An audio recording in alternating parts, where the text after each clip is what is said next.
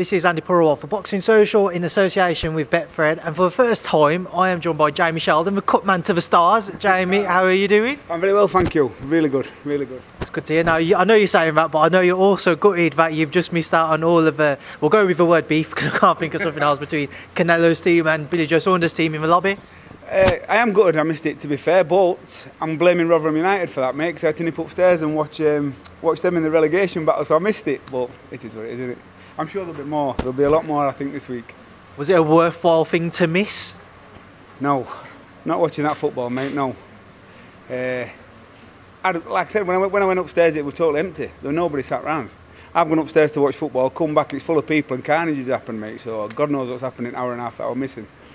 Obviously, Jamie, there's a lot of talk this week as to whether the fight will or will not go ahead. Yeah. Um, mostly, mostly about the ring. Just your thoughts on it first and foremost. Uh, I think you we we a fight at this scale. You're always going to get you're always going to get these little issues and, and people trying to get in people's heads and this and other. Now, I haven't, I haven't spoke to anybody, uh, so I haven't got no official information on what's going off. Uh, from my opinion, the, the, fight will go ahead. Um, but, but like I said, I've got no official information. Nobody's feeding me information.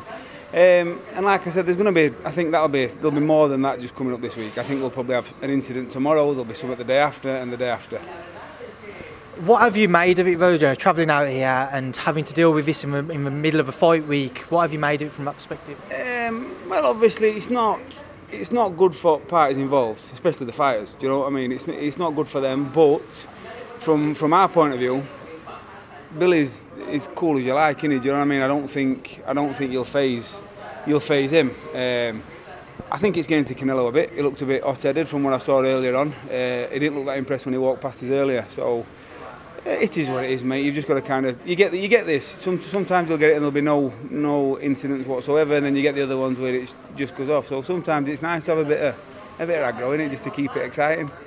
How has Billy reacted to it all from when you've spoken to him? Well, I've not actually spoke to him today. I've not I've not seen him today. Um, like I say, I've been down with the rest of the team, uh, and he's he's just been out of the way, just doing what he does. He'll just be probably up there chuckling to himself. I, I would imagine. Do you know what I mean? Hopefully, we'll we'll catch up with him later on.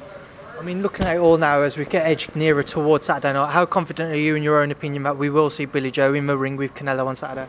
Uh, yeah, yeah, I, am I'm confident. I'm confident. I think I think uh, all issues that have arisen, I think they will get resolved, uh, and I, I, think I think we will see a fight. Just your thoughts as well on John Ryder. I've seen that John's travelling out here. Um, I suppose that's just in case Billy Joe didn't decide to face Canelo. Just your thoughts on that? Well, how, how long has that been in pipeline? If it is true, because I don't know where that's come from because uh, like I say, I missed a, I missed an hour and a half of action because I was watching football. So um, I don't know how whether that was planned a long time ago or whether it's been a spur at moment thing. Now, if it's a spur at moment thing, I'd believe, yeah, they've panicked a little bit and thought just in case we're going to need somebody to fill in. If it's been planned a while ago, it's probably just in one of those little things just to chuck cat amongst pigeons type of thing, ruffle a few feathers for for winner or whatever. Do you know what I mean? So it, that all depends. There's a couple of factors involved in that, and I'm not. I'll, I'll try and see if I can dig out on that one. Now, Jamie, I know obviously you're not the man behind the tactics on Saturday night, but heading on to the fight, heading on to what's expected from Billy Joe, is it as simple as he needs to just produce the, the career best performance from himself, or does it need to be ten times more than what more than that effectively? Do you, do you know what? Before before I come out here, I'd not, I'd not seen Billy for a while. Uh, obviously, I've been at his fights and stuff like this, and then I saw him in the gym. I saw him in the gym the other day, and he's he looked good. He, showed us a lot. Well, he showed me personally because, I was, like I said, I've not seen him. He showed me a lot of what I've not seen before. Um, and I think anybody that's facing Canelo has got to put a career best performance in and a bit more. Do you know what I mean? I know there were like people saying, "Oh, we're four rounds down before we start and this and over." So, like I say, you have got to year a career best. Uh, and like, I'm confident in the kid. I'm re I really am confident in the kid. Do you know what I mean? I think he's got. I think he's got all the attributes to do it.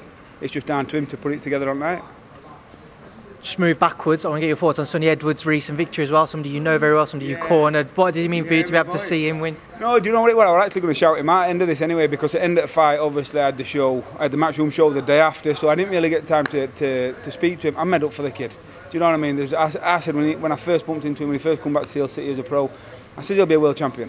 Uh, and, I, and I was right. The, the kid's special, mate. The kid's special. And I, I I wish him all success in the world, you know what I mean? He's, he's one of them kids that I want to do well, I want him to get out of sport, all his marbles and go and enjoy his life, mate, he deserves it.